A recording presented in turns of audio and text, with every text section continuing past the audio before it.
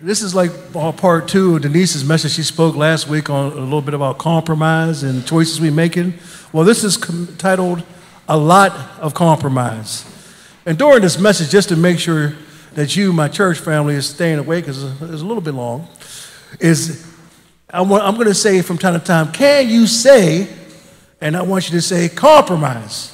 Okay? Yell it out, loud, loud. So here we go. Is practice. Can you say, that's right. All right? So the first scripture we're going to get into is 2 Peter 2, where Peter says, But there were also false prophets among the people, just as there will be false teachers among you. They will secretly introduce destructive heresies, even denying the sovereign Lord who bought them. These are church people that Peter's talking, talking about bringing swift destruction on themselves. Many will follow their shameful ways and bring the way of truth into dispute. I want you to know we can do that in our own lives. Amen.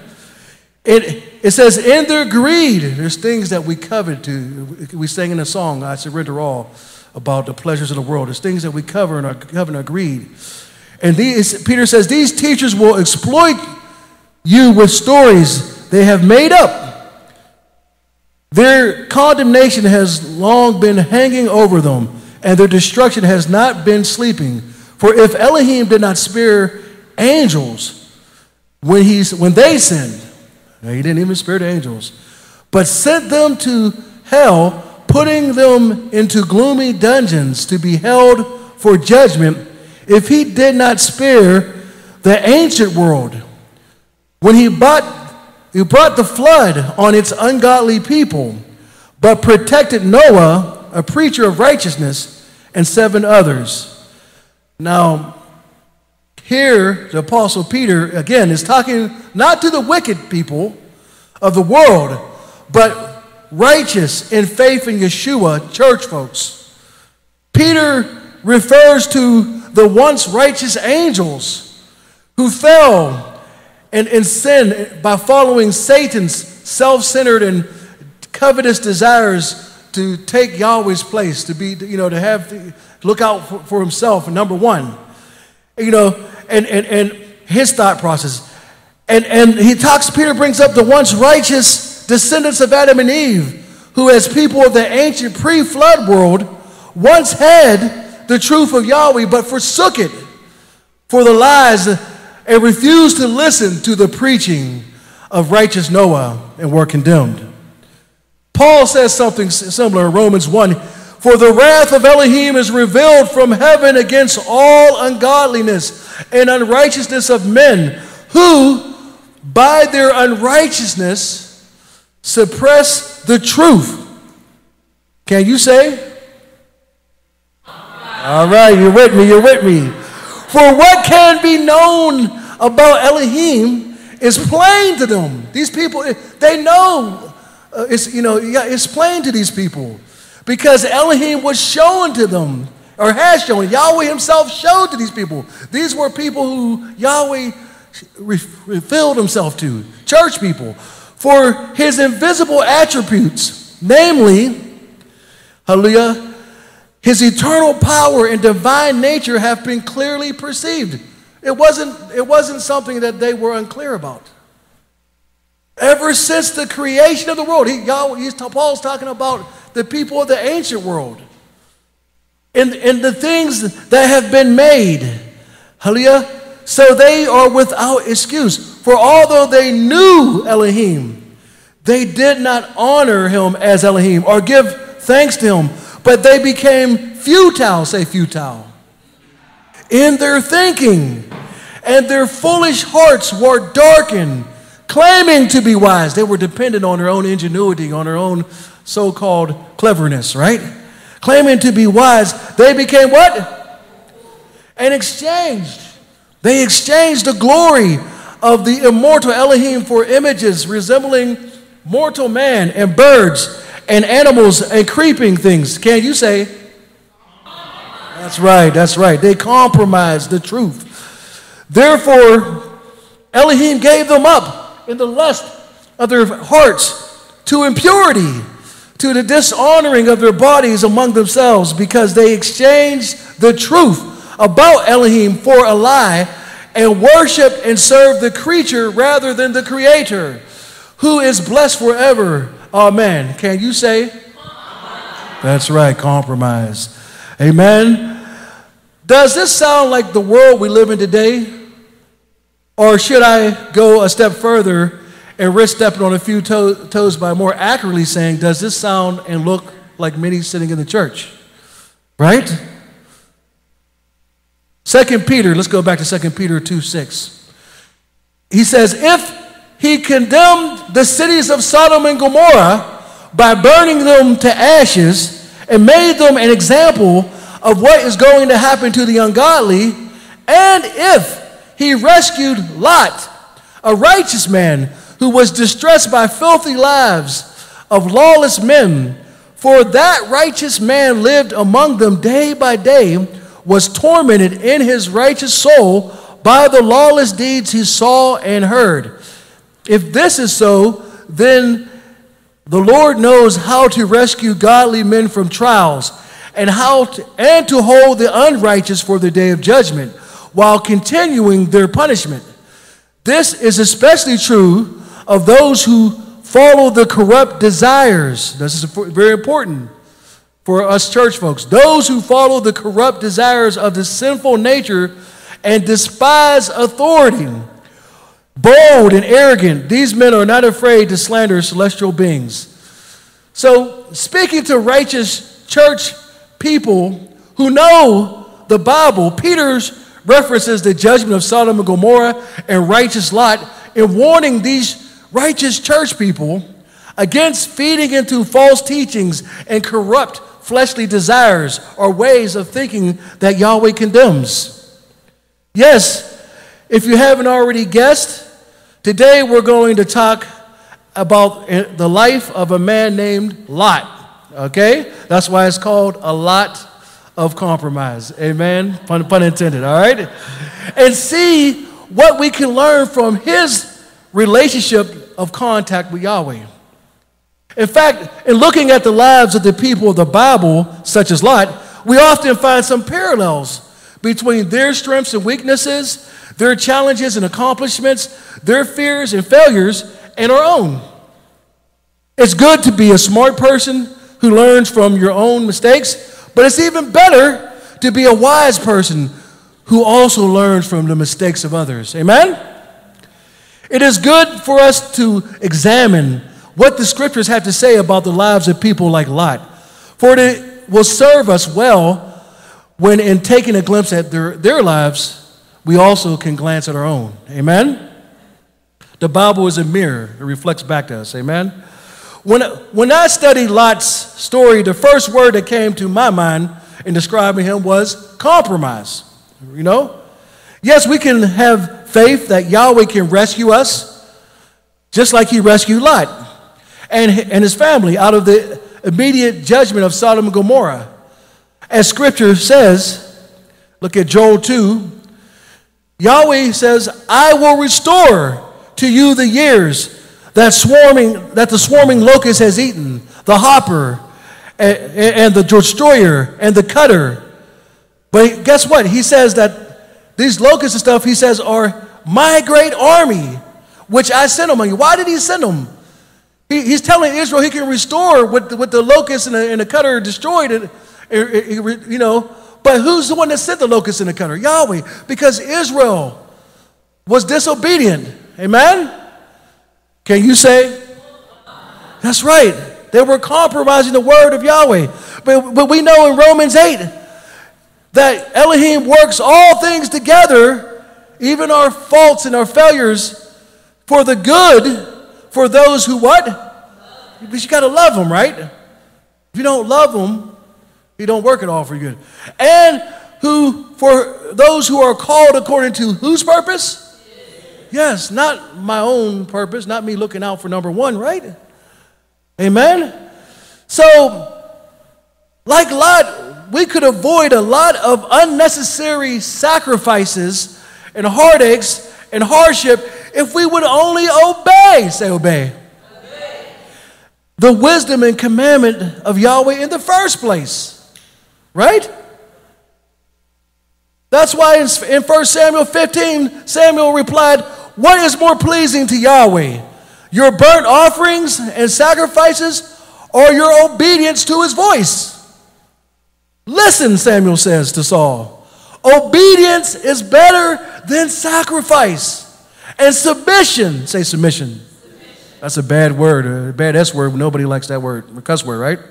It's better than offering the fat of rams. Rather than giving all these offerings for, for your sins and everything, Yahweh would prefer you would just listen and obey Him and submit to Him in the first place, rather than sinning. So when it came to obeying the wisdom and submitting to, the, to some of the commandments of Yahweh, there were some decisions of compromise that righteous Lot made that put not only him, but his entire family in a bad way. Peter warns Yahweh's church family. Remember, they knew the Bible, they knew the story a lot, so they would be meditating, you know, uh, about Lot and the judgment of Sodom and Gomorrah, you know, as they listened to Peter talk. You know, and, and, and when it comes to not compromising, you know, or following the corrupt desires and bad decisions that put us at risk, they would have been thinking about that. You know, the risk of suffering Yahweh's judgment. He Just like what, what Lot and his family was. They were almost caught up in the judgment of Sodom, right? So, if you look at the dictionary, you'll find that the word compromised is used to describe a method of reaching agreement in a dispute by which each side surrenders something that it wants. In this way, compromise is used in a positive sense. However, the word compromise also is used to describe placing something in jeopardy or bringing into danger or exposing to a loss of reputation. In this way, compromise is used in a negative sense. For example, for instance, when a thief breaks into someone's home, we say that their security has been compromised. Everyone follow me? When I use compromise to describe Lot, I'm using it in the negative sense. In other words, I think that Lot is a man that placed many things in jeopardy in his life. Even though he is described by Peter as righteous. Because Peter is talking to righteous people and let them know that righteous people can, make, can fall and make mistakes if they're not careful. There is, there is also evidence that this righteous man made some bad decisions in his life that compromised many areas of, of his life. And um, last week, Sister Denise spoke a lot, pun intended, about decisions and choices, right? Amen? that we make that will either bring us closer to Yahweh or lead us further away. And when we look at Lot's story, we see the process of, of a life that starts out so well, but his life ended up badly as a result of a gradual process of a series of poor decisions and compromises, okay? And remember, as Denise said, that a decision we make will either bring us closer to Yahweh or lead us further away. And so, when, when Lot, when, what led Lot to compromise is the question we want to ask. Now, when we look at, at Lot and, and his compromise or, or the placing things in jeopardy in his life, before we do that, I think it's important for us to establish why or what led to Lot to compromise these things in his life. For from the beginning, if you look at the life of Lot, and the people around him, you'll find that not only he, but the important people in his life fostered a culture of compromise when it came to the commandments and leading of Yahweh. Part of what I mean when I mention important people around Lot is even the future father of faith, Abraham, who was then still referred to as Abram, and still very immature in his own faith, modeled compromise when it came to following the commands of Yahweh. Amen. And Lot was grew up watching, you know, Abraham was the elder in the family. Now, again, I'm not giving Lot excuses, but Lot had a, a lot of bad influence as far as important male leadership the, over the family, role modeling compromise in his life.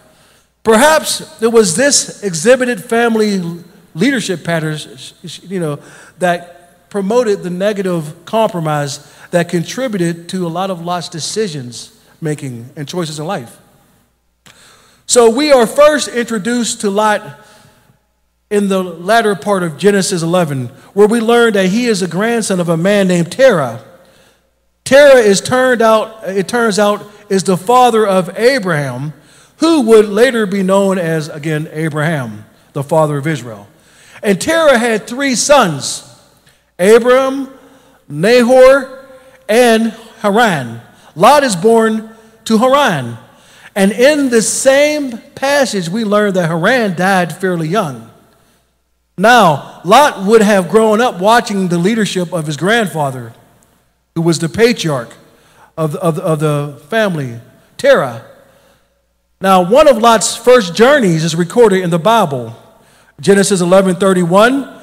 Terah took his son Abram, his grandson Lot, son of Haran, and his daughter in law Sarai, the wife of his son Abram, and together they set out from Ur of the Chaldeans to go to where? That's Canaan, right? That's what they set out for. But when they came to Haran, they settled there. Settled sounds a lot like, can you say? Right? Right? They settled. Here we see that Terah takes his family and heads out for Canaan. But do they reach their destination? No, they don't. They actually settled in Haran when they set out. Canaan was the, the original goal of their journeys in, but they didn't quite make it that far and ended up staying in another place named Haran, which just happened to be the namesake of Lot's father. Isn't that interesting? Hmm? Perhaps out of sentimentality for Lot's dead father, they compromised and settled for Haran. And, and starting in chapter 12, we find that Yahweh Elohim is calling Abraham out from under his father's head covering, out of the land of compromise, to continue on to the original destination, which was what? Canaan.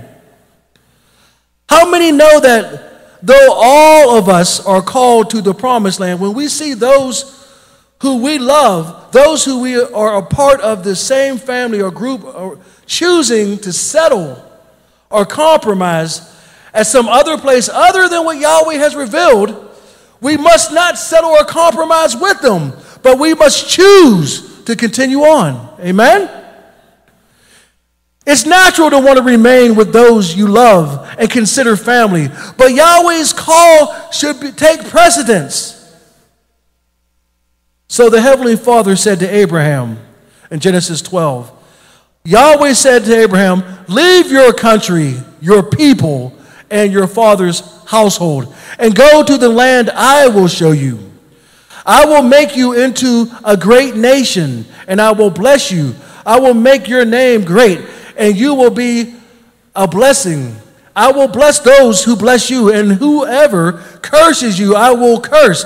And all peoples on the earth will be blessed through you. So Abraham left as Yahweh had told him, and Lot went with him. Abram was 75 years old when he set out from Haran. In essence, Abraham Leave, Yahweh saying, Abraham, leave everything you know, everyone you trust, even your firstborn rights, and follow me. He was to leave all, say all, behind everything that made him who he was. It's something that we all, as followers of Yahshua, have to learn. We have to strip ourselves of ourselves to get Yahweh's best. We must deny ourselves and pick up our crucifix, say goodbye to the old life and our old ways, and looking out for number one and follow Yahshua. It's just like seeing a little child whose parent is trying to teach them how to walk for the first time. The child is holding on desperately to the arm of the old familiar sofa that up to this point in his life he has grown to depend on to use for support and balance. He was reaching with all his my hand and all his might, you know, to grab the outstretched hand of his parent who stood nearby just beyond his grasp. But he just couldn't reach it unless, of course, he does what? Let's go of the safety of the old sofa arm, right? He'd grown accustomed to holding on to. So, how often we say we want Father Yahweh's will in our life, and all the while holding on to ours? Yet, until we let go of our desires, our familiarity, and all that we expect to receive, how much can we truly expect from the Father? And this is where Abram was. He had to let go and move forward in that which the Father was calling him. But did he? Yes, well, sort of, right? Can you say? Right? Let's look at the Heavenly Father's command at him again, at Abram again. Genesis 12 1.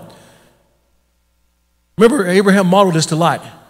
Yahweh had said to Abraham, Leave your country, your people, and your father's household and go to the land I will show you.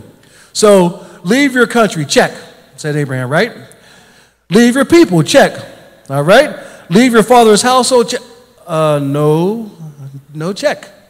Um, Go to the land I will show you. Check, right? Well, that's good. Can you say? I guess one could say that three out of four is not bad, right? You know? But I'm not sure that's how the Father views obedience. There used to be a sign that Sister Eleanor put up here, I think it's downstairs now on the side of the wall, and it said that partial obedience is disobedience, right? What did Abraham not do? Leave his father's household, Lot came along for the ride. Why, though? It's never indicated. But we can only speculate about why Abraham compromised and not fully leaving his father's household. It appears that Lot also detached from being a part of his grandfather's household and comes into the care of his uncle Abram. I imagine that young Lot may have witnessed this sort of conversation between his uncle Abram and the patriarch of the family, his grandfather. Uncle Abram may have said, sadly approached his grandfather and said, Dad, it's one of the hardest things I ever had to do. Yahweh, my God, has commanded me to leave my position as the firstborn inheritor of your household and all the responsibilities that come with that to go to the land that he will show me. Perhaps, perhaps after a lot, pun intended, of back and forth, Lot uh, observed his grandfather Terah respond to his uncle Abram in a very displeased state, saying, Even if your God commands you to leave um, your responsibility as firstborn of this family, my son, the least you could do is to fulfill your obligation in, in, in seeing to the care of Lot, your dead brother Haran's son. And I imagine Lot witnessing his uncle Abraham agree, agreeing to this compromise, you know? And, and I don't know what he's thinking about it, but, you know, I'm going to be leaving too with, with Abraham as he's leaving the family. In Genesis 12, along with the famous call of Yahweh upon Abraham, where it says, he says, Leave your country, your people, and your father's household and go to the land I will show you in Genesis 12. As if Lot was extra baggage that wasn't supposed to be a part of the original equation of who left with, with, with uh, Abram, who Abraham left with from his father's house. We read, recorded in verse 4, how when Abraham gets up to leave, Lot went with him. It is interesting to note that the next time we find Lot's name mentioned, the same third will impression is felt as it is mentioned using the exact same phrase in Genesis 13 1. So Abraham went to, up, up from Egypt to the Negev, with his wife and everything he had, and Lot went with him. Right? It's a third will kind of feeling, you know? But up to this point, Abram and Lot appear inseparable. Lot, it seems, had a good relationship with his uncle and wasn't about to give that up. Besides, how Lot might have been affected, I want to also look at how Abraham's model of compromise to Yahweh's command by taking Lot along affected Abram. So let's consider Genesis 13 6. But the land could not support them while they stayed together, for their possessions were so great that they were not able to stay together, and quarreling arose between Abram's herdsmen and the herdsmen of Lot. The Canaanites and Perizzites were also living in the land at that time. So Abram said to Lot, Let's not have any quarreling between you and me, or between your herdsmen and mine, for we are brothers. Is not the whole land before you? Let's part company. If you go to the left, I'll go to the right. If you will go to the right, I'll go to the left. So Lot looked up and saw that the whole plain of Jordan was well watered, just like the garden of Yahweh. Like the land of Egypt towards Zoar. This was before Yahweh destroyed Sodom and Gomorrah. So Lot chose for himself the whole plain of the Jordan and set out towards the east. Now, it's interesting that the, the portion of land that Lot picked is compared with the Garden of Eden. And Lot moved east, say east. The opposite direction of Abraham, who was blessed by the Yahweh's presence as the father of faith. The, there was another who started out well until he decided to compromise when, when it came to burnt offerings unto Yahweh. And this man also departed east, away from the blessing of Yahweh's presence. Genesis 4:16. So Cain left Yahweh's presence and settled in the land of Nod, east of Eden. Amen. So as we read on back to Genesis 13, Lot and Abram could not stay together. Abram then gave Lot eh, the pick of the land.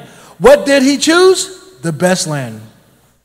At least temporarily, Abram gave up what that which was originally given to him by Yahweh, the best portion of it. All because of his own disobedience of compromise from the beginning. That's how this affected Abram. It appears as though Lot has got the better end of the deal, but then we find later that Lot himself eventually left the open land and moved into one of the neighboring cities, which eventually was destroyed. But what did he do with his flocks, his servants, his, the land? We don't know. One can't help but wonder if Lot compromised further by selling it all or to move into the city of Sodom. Perhaps he and his family were attracted to the city life. One thing is for sure that that which was given to Abram was lost, at least momentarily, because of disobedience. The bottom line is if you want your promised land, you can't take a lot with you. Amen? Pun intended. we need to examine our lives today and see what lot you may be holding on to that's keeping us from all that Yahweh intends for us. We see Yahweh would eventually restore what Abraham gave away. But one big difference between the life of Abraham and, and righteous Lot is this Lot's life of compromise led to the spiritual corruption and downfall of his family. Abram, who once compromised Yahweh's command uh, for loyalty to family, matured into Abraham the father of many nations, who put loyalty to, fa- to Yahweh's command before family. Amen. Remember Jamie's message about Isaac's? Amen. Hallelujah. The two men parted company. Abram settled, next verse, please. they parted company, and Abram settled in the land of Canaan while Lot settled among the cities of the valley and moved his tent as far as Sodom. Now the men of Sodom were wicked, great sinners against Yahweh. Yahweh said to Abram, after Lot had separated from him, that's interesting, lift up your eyes and look from the place where you are, northward and southward and eastward and westward. For all the land that you see, I will give to you and to your offspring forever. I will make your offspring as the dust of the earth, so that if one can count the dust of the earth, your offspring also can be counted. Arise, walk through the length and the breadth of the land, for I will give it to you. So Abram moved his tent and came and settled by the oaks of Mamre, which are at Hebron, and there he built an altar to Yahweh. It's interesting that how the environment of Sodom, where Lot chose to pitch his tent, in, is described by Scripture as having men who were not just wicked, but were exceedingly, exceedingly, wicked against Yahweh. And then Yahweh waits until immediately after Lot separated from Abram to, to inform Abram that in every direction, I imagine that Abraham, of sitting, was sitting on the, on the cliff, and he said, Look to the, over there, wherever you go, I'll go the opposite. Lot said, I'll go that way, and he left. And then Yahweh just comes and say, Look, look, from the, he says, Look in every direction, Abram. You know, uh, you know, he says, even the direction that, that you gave to Lot, basically, all the land will be given to you and your descendants. Later, we learn that different from Lot and Sodom, Abraham did not compromise when it came to the environment that he kept his family in. As much as possible, Abraham kept his family separated from all that worldly wickedness and maintained a righteous environment. Say, righteous environment. Uh, Sister Beth always talks about the importance of environment. A environment of keeping Yahweh's laws and statutes and commandments. We look at Genesis 18. Then the men set out from there. Those are the angels of Yahweh, the messengers. And they looked down up towards Sodom, and Abram sent with them um, to set them on their way. He went with them, and Yahweh said, Shall I hide from Abram what I am about to do? Seeing that Abraham shall surely become a great and mighty nation, and all the nations of the earth shall be blessed in him. For I have chosen him, that he may command, say command, his children and his household after him to keep the way of Yahweh by doing righteousness and justice, so that Yahweh may bring to Abraham what he has promised him.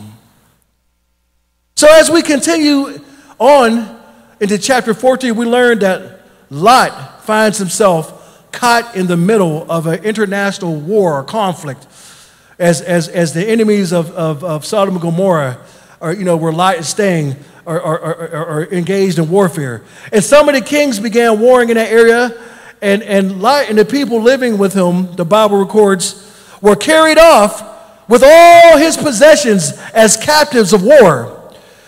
And Abram soon becomes aware of this and rushes into the rescue and, and, miraculously defeats Lot's captors and freeing him, as well as freeing all the other captives and their possessions. And the Bible is silent about Lot for a while after this. And then he is again mentioned in Genesis 19. But before Genesis 19, in chapter 18, we learned that Yahweh communicated with Abraham his intention to destroy the cities of Sodom and Gomorrah because of their wickedness. Abram, knowing his nephew Lot lives there, pleads with Yahweh and convinces Yahweh to spare the whole city if only 10, say 10, righteous people are found there.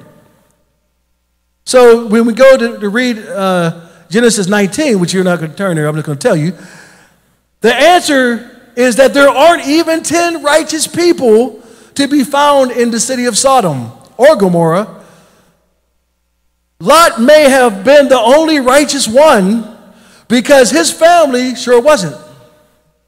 There were lasting consequences to Lot's choices of compromise. It may be that the motivation behind righteous Lot's compromise was the desire for material wealth and prestige. Perhaps he fit in the category of those that Yeshua spoke about in Matthew 6 24. Yeshua said, No one can serve two masters, for either he will hate the one and love the other, or he will be devoted to the one and despise the other. You cannot serve Elohim and money. I believe that trying to serve both Yahweh and material wealth was the compromise that led Lot's downfall toward his downward slide. Lot became rich off of Abraham's poor example of compromising Yahweh's command to leave his father's household behind and take Lot with him. So here we have the reason for the compromise in Lot's life. It began with bad role models. First, his grandpa Terah. They were supposed to go to Canaan, they settled in Haran. Then Abram, supposed to leave everybody, but he, you know, his father's household takes Lot. You know? So, so these, he had these bad role models in his life who simply looked out for number one by putting their own desires, will, and, des- and decision making before that of Father Yahweh's desires, will, and decision for their lives. Oftentimes, when a parent figure or a role model sins, your kids who are born with the cursed fleshly nature will more easily learn your bad habits than your good. And then what they'll do is they'll, some of them will even take your sin that you did to a higher level, a step further than even you do. Lot was so enamored with having prestige and material wealth that, unlike Uncle Abram, who took care of him, he didn't even have the family loyalty for Abram that Abram had for him. Evidence of this is seen in his choice or decision to, at the resolution of the strife between Abraham and himself. Now we can look at what was compromised in, in Lot's life because of this. What Lot compromised was relationship with Abraham. One of the things you notice first about the story of Lot is his apparent closeness to his uncle Abraham. From the beginning, we learn how Lot went wherever his uncle went, and his uncle willingly was willingness to have him along. But things seemed to change when their possessions increased, right? Lot became fat and rich and right along with Abraham. Abraham was, was taking care of him. The thing that stands out about the character of Abraham at this point in, in Lot's life is his willingness to maintain his good relationship with his nephew and even put Lot's well being before his own. Look at Genesis 13, 8, 9. So Abraham said to Lot, Let's not have any quarreling between you and me, or between your herdsmen and mine, for we are brothers. Is not the whole land before you? Let's part company. If you go to the left, I'll go to the right. If you go to the right, I'll go to the left. Abraham, Abram, as his name was then, had every right to tell Lot where to go. He was the elder of the family and the one that Yahweh made the promise to. Abram risked everything by giving Lot the choice. Why? Because he was not willing to compromise his relationship with Lot. Clearly, Abram was Abraham was not looking out for number one. Contrast this with Lot. He didn't even think twice about honoring the elder in the family who had cared for him all this time by letting him have the best of the land and its resources. Looking out for number one, Lot was willing to compromise his relationship with his uncle in order to take advantage of the apparent bonanza. The most unsettling thing that happens when we look out for number one is that we compromise our relationship with those who love us the most. Since Lot was acting like a spoiled, childish little brat, we're going to let a little child's artwork illustrate our next point. All right? Something that I think Lot forgot in his choice was that the only reason he had the possession he had in the first place was because he had hung around with Abraham, and Abram was blessed by Yahweh. Not only did Lot show disrespect for Yahweh's man by not offering his uncle Abram the best of the land and leaving Abraham, eh, leaving Abram, Lot was walking away from Yahweh's blessing. He was compromising or placing in jeopardy Yahweh's blessing. As Lot gave over, uh, as, as Lot gave over the less fertile, I mean, he, he gazed over the less fertile plain of Jordan, he saw the incredible opportunity to improve his place in the world, to improve his life, his way of life. Lot is the perfect example of how we, as righteous followers of Yeshua, can give into the fleshly human tendency to look out for number one. I know I'm not immune to the temptation myself, you know, because this is a tendency of the flesh to be selfish. It's a fleshly, childish tendency that we're all born with. A fleshly temptation that we must deny daily and unlearn through the Holy Spirit who gives us a way out by maturing us and following what Philippians 2 3 says. Do nothing out of selfish ambition or vain deceit, conceit. Rather, in humility, value others above yourselves. Amen? I remember watching my wife, Denise, combat this fleshly tendency to look out for number one in our little kids who would fight over something they were supposed to share with one another. They fight, I mean, the fight was always about who got the biggest, the best, or, or the most. It didn't matter if it was the last piece of cake, a single chocolate bar, or a slice of pizza. It would, it would never be split exactly in half, and it was always given that either one or the other would put up a big fight about getting the smaller half, even though the difference was insignificant. You know? And it was just drive Denise crazy. But one day, I observed my wife caught on to a neat idea that one that you might even try if you have little kids. Okay? I mean, this is almost up there with the whole wisdom of Solomon cutting the baby in half that Pastor Jeremy spoke about in his last message.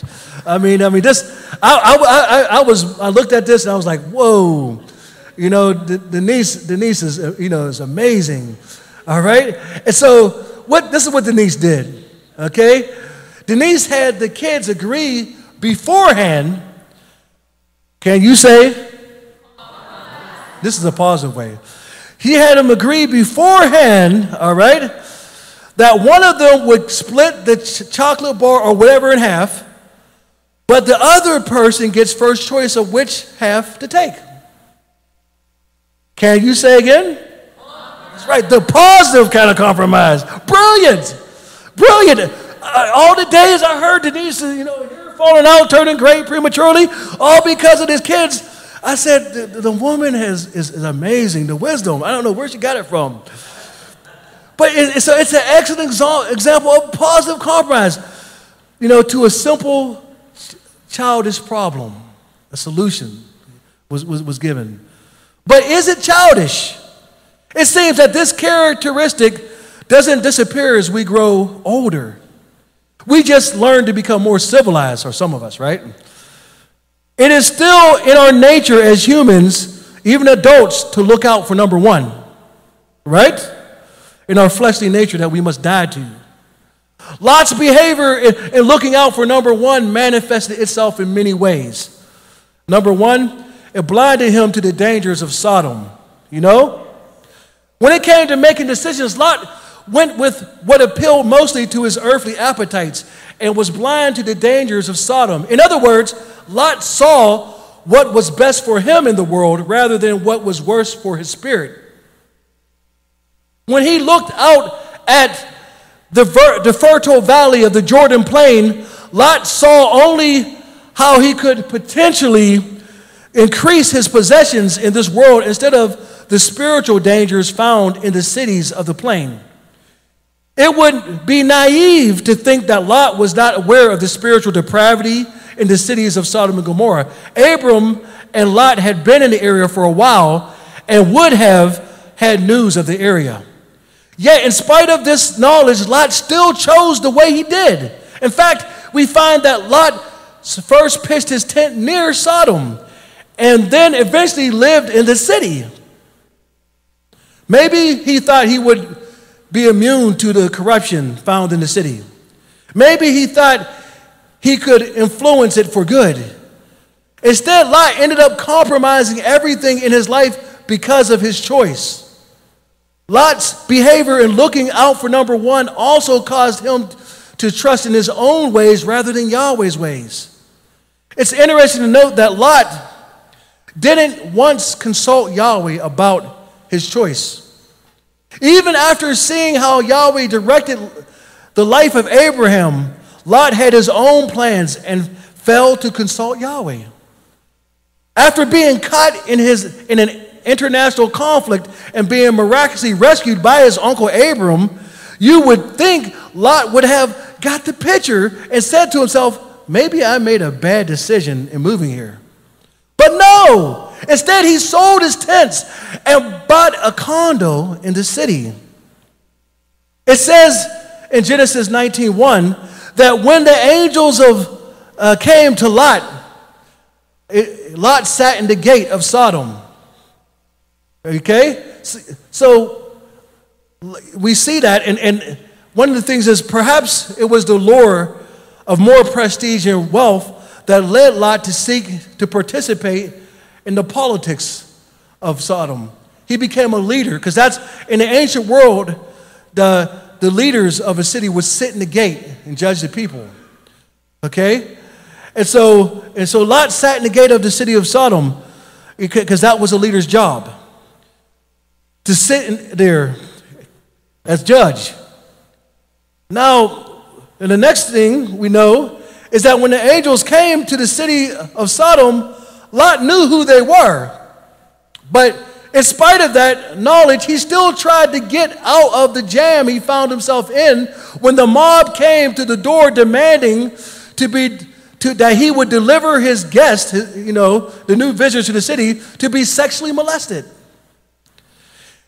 Instead of shutting the door of the mob's face and trusting Yahweh would somehow work out a solution with his powerful angels, what did Lot do? Can you say? That's right. Lot took things into his own hand and diplomatically, he played politics or tried to, tried to come up, hallelujah, with a compromise by calling the crowd his friends and offered them his two virgin daughters instead, right? Now, we're not going to turn her, but Second Chronicles 32, King Hezekiah and Isaiah said a prayer, and Yahweh sent only one angel who annihilated the entire army of mighty men and, and, and of valor and leaders in, in the king of Assyria's army just by himself. Just one angel. Lot had two, right? But he was so in the habit of depending on his own power of compromise to handle things that he was willing to sacrifice his own two virgin daughters. What father in the right mind would do such a thing? Yet for Lot, looking out for number one meant he'd formed a fatal habit, a way of life that involved trusting in his own ways and solutions rather than Yahweh's ways. This was the old familiar road of compromise that Lot had witnessed growing up and had forged and trusted in his, his own way of life. Ultimately, compromise even intruded upon how he related to the Heavenly Father and defined the way in which he followed Elohim's instructions towards the salvation of both he and his family. Look at this in Genesis 19. As morning dawned, the angels the angels of Yahweh urged Lot, saying, Up, take your wife and your two daughters who are here, lest you be swept away in the punishment of the city. The angels knew that, that, that, that Yahweh was about to, to firebomb the city, right? But guess what Lot did? Can you say? But he lingered. So the men seized him and his wife and his two daughters by the hand. The angels had to grab them and pull them out of the city Yahweh being merciful to him, and they brought him out and set him outside the city. Even when the angels miraculously delivered Lot from the crowd of the, of the, of the men that wanted to sodomize the angels by making them blind and told Lot Yahweh's plan to destroy the city, uh, you know, the scriptures record that he hesitated when it was time to go. And the angels, I mean, just, could you imagine? I mean, he had to physically pull him out. That shows you that the addiction of the city, the desire, the, the attachment was so strong in Lot's life, and his wife, and his daughter's lives also. The angels had to remove them physically from the city. Then, while en route, Lot, guess what? He pleaded with the angels to let him go to the small city of Zoar rather than the mountain that Yahweh wanted him to go. Sounds like what, what, what uh, grandfather Terah did. He was supposed to go to Canaan, but they went somewhere else instead. They settled for something else.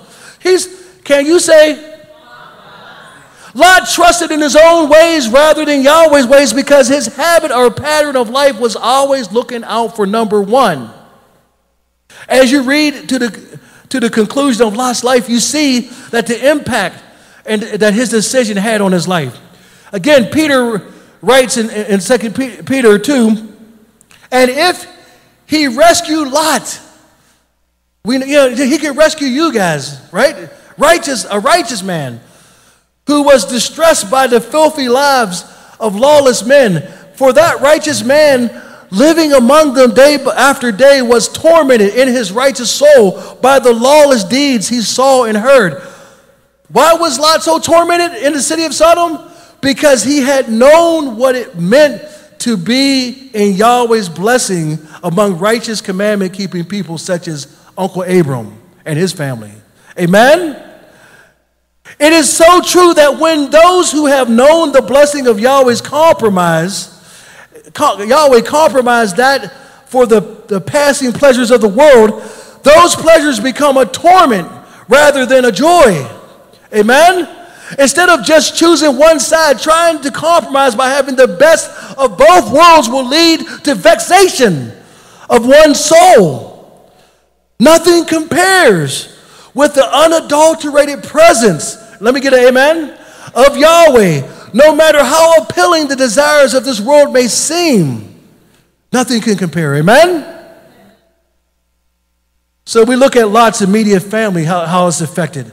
Probably one of the saddest things that, that happened as a result of Lot's decision was the placing in jeopardy of his family. Notice what happened as a result of Lot's compromise. The very safety of his family was compromised in the midst of the, the international war or conflict. The other thing, his virgin daughters were engaged to son in laws who refused to leave with him when he warns them of the impending destruction of Sodom. In fact, they laughed at Lot. You know, with look, they had that same looking out for number one mentality. They had many things that they liked about the atmosphere in Sodom and Gomorrah. And, and they had no belief in their father in law's faith nor his knowledge of Yahweh. Because Lot was right there with them the whole time. So they, his light wasn't shining as brightly. Lot's son in laws had become accustomed to the wickedness of Sodom. Instead of following the command of Elohim's angels, Lot's own wife rebels against the word of, of Yahweh's angels and with desire looks back at Sodom after being warned not to she is turned into a pillar of salt.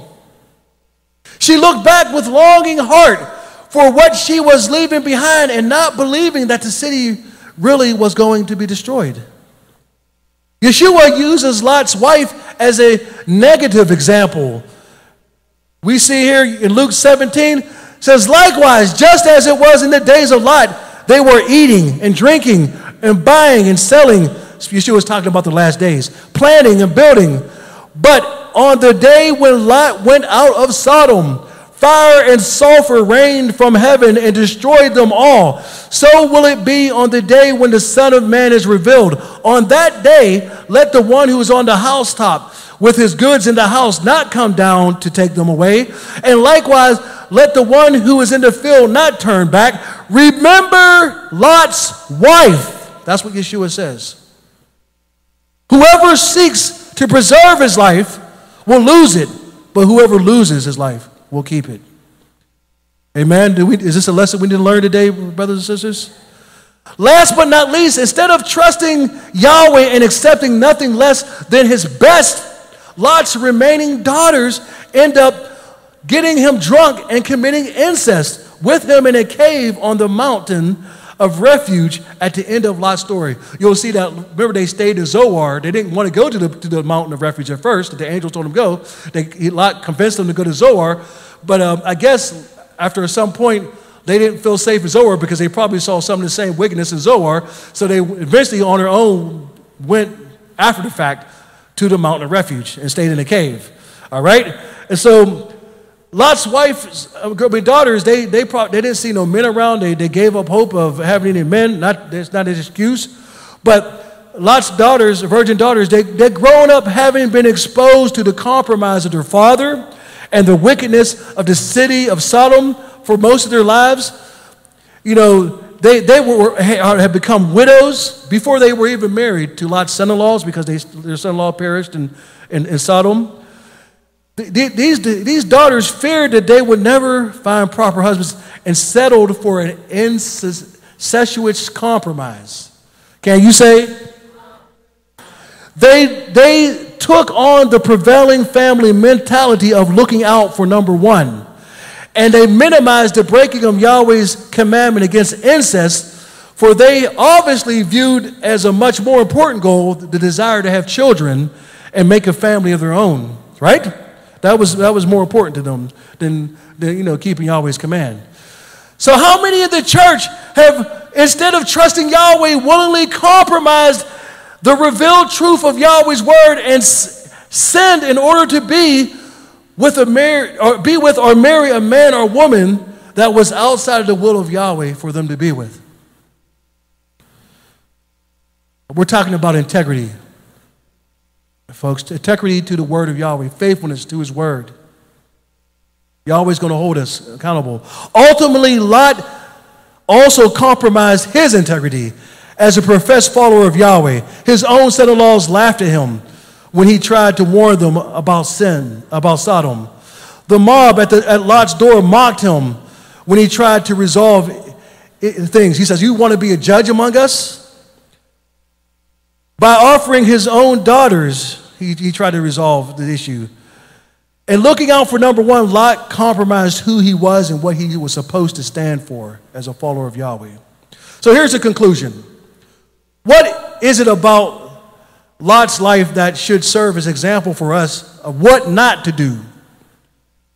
We need to know our weakness. Amen? It says here, let him that thinketh he standeth Take heed lest he fall, in 1 Corinthians 10.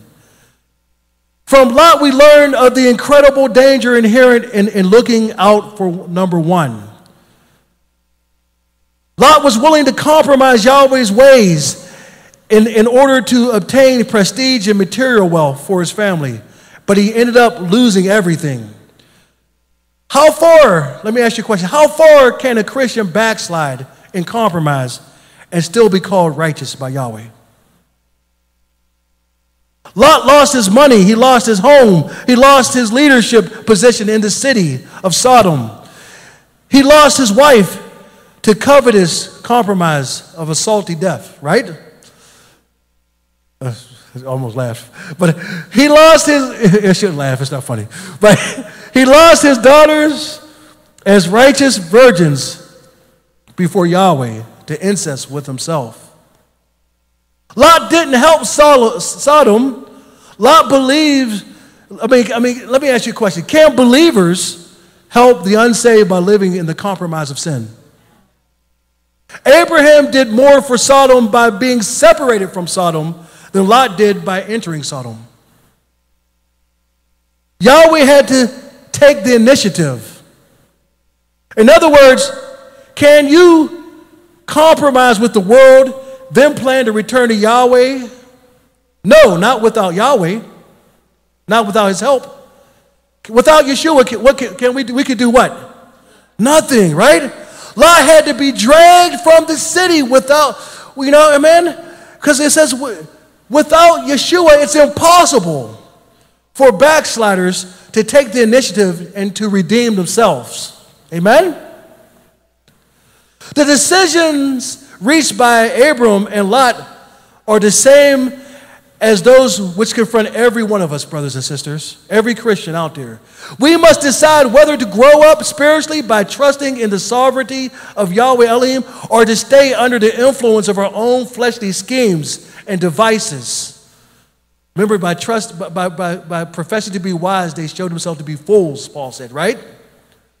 We must determine whether to trust in the uncertainty of riches or in the Elohim who richly supplies us as it says in 1 Timothy. We must decide whether to invest in the passing pleasures of sin or the, or the future reward which is promised by Yahweh Elohim, as it, as it talks about in Hebrews chapter 11. The world's way of getting ahead is looking out for number one. That was Lot's way as well, and his family adopted that too in Sodom.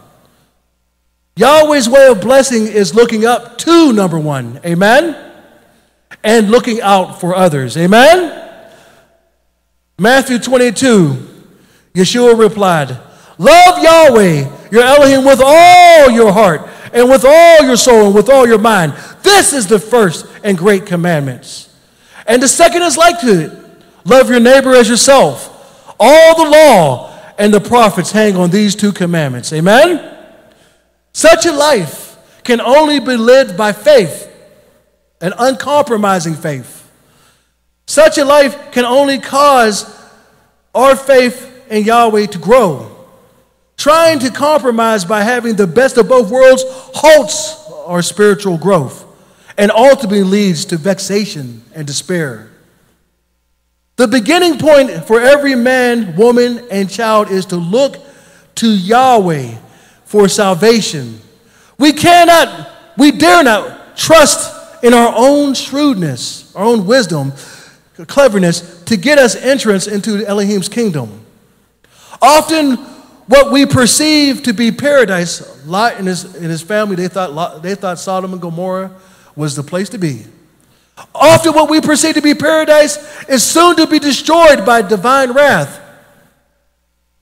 Faith recognizes our sinfulness and trust in the work of Yahshua the Messiah on Calvary's tree alone. Amen? For eternal security and blessing. Our own best efforts are doomed to destruction. Only what Yahweh promises and his provided righteous commandments for living will endure. As we saw with the life of Lot, even the righteous can make mistakes and fall. But we can avoid compromising as Lot did by daily denying ourselves, embracing the righteous life of Messiah in us, the hope of glory. Although we still may experience the consequences of, of bad decisions of the past, Yahweh still extends the, His grace and His mercies. He will restore the years that the, the, the cankerworm has, and the locusts have eaten, right? Amen. He will still provide salvation for us. Amen to those who repent and receive it. Yahweh bless.